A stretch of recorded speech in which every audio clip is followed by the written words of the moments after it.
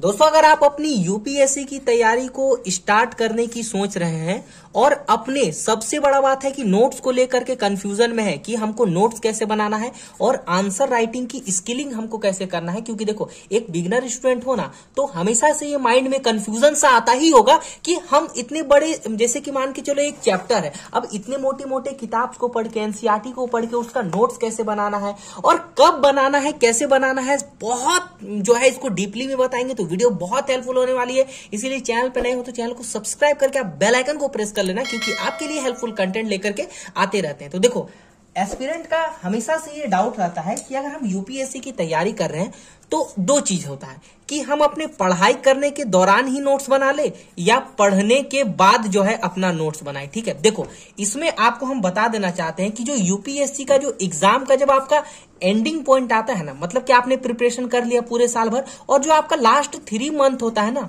वो आपका नोट्स ही आपको काम देता है। नोट्स इसीलिए काम देता है ना, क्योंकि उस टाइम आपको चाहिए क्विक रिवीजन चाहिए। क्विक रिवीजन कब होगा? हम किताब को तो पढ़ा है, लेकिन क्विक रिवीजन हमारा नोट्स देगा हमको, ठीक है? तो इसीलिए हमको सिलेबस के अकॉर्डिंग बहुत ज़्यादा नोट्स बनाना पड़ेगा, ठीक है? तो देखिए, आप कभी भी एक चैप्टर को पढ़ो, जैसे कि मान के चलो, ये एक चैप्टर है ये मान के चलो देखो भारत का राष्ट्रीय आंदोलन है। तो कभी भी आप, जैसे ये चैप्टर एट है, इसको यहाँ से मैंने यहाँ तक ये देखो, इतना बड़ा चैप्टर है और कहीं ना कहीं यूपीएससी के लिए तैयारी कर रहे हैं तो हमको डीप में पढ़ना पड़ेगा। इतना बड़ा आपका चैप्टर है मतलब कि आठ दस पेज का ये चैप्टर है तो इसको पढ़ने के साथ ही आप क्या करो नोट्स बनाना स्टार्ट कर दो। जैसे कि देखो, यहाँ पर लिखा हुआ है कि वर्ष अठारह सौ पचासी में राष्ट्रीय कांग्रेस का निर्माण हुआ, है ना? तो ये हमको इंपॉर्टेंट टॉपिक लिखा। तो जैसे जैसे हम टॉपिक को पढ़ते जाए वैसे वैसे क्या करें, हम अपना नोट्स जो है बनाते जाए।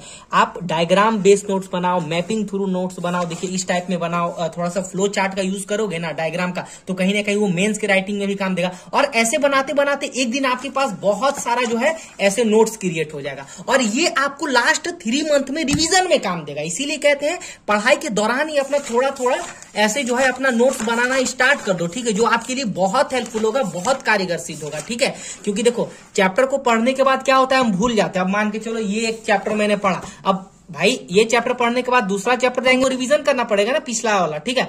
तो इसीलिए हम आ, कोशिश करेंगे कि हम नोट्स का ही रिवीजन करके उस चैप्टर को पिछले वाले को कंप्लीट कर ले राइट और एक इंपॉर्टेंट बात आप कोशिश करो, इस टाइप में आप आंसर राइटिंग करने का कोशिश करो। देखो, यहाँ जो देखो कि आंसर राइटिंग करने का कोशिश करो, किसी भी चैप्टर को पढ़ो थोड़ा थोड़ा टॉपिक वाइज आंसर राइटिंग करने का करो व्हाइट पेज में। ये क्या होता है? आपकी स्किल को जो है, ये क्या करता है? डेवलप करता है ताकि आप अपने एग्ज़ाम में स्पीड लिख पाओ राइट तो ये सब बातों का ध्यान रखना है, ठीक है? और बेसिकली आप ही के लिए एक ग्रुप भी मैंने बनाया है टेलीग्राम पेड ग्रुप बना है, जिसमें इसी तरह के हैंड रिटर्न नोट्स दिए जाते हैं पेड ग्रुप है। Just one hundred one time fee के साथ आंसर राइटिंग होती है, आपकी नोट्स दी जाती है।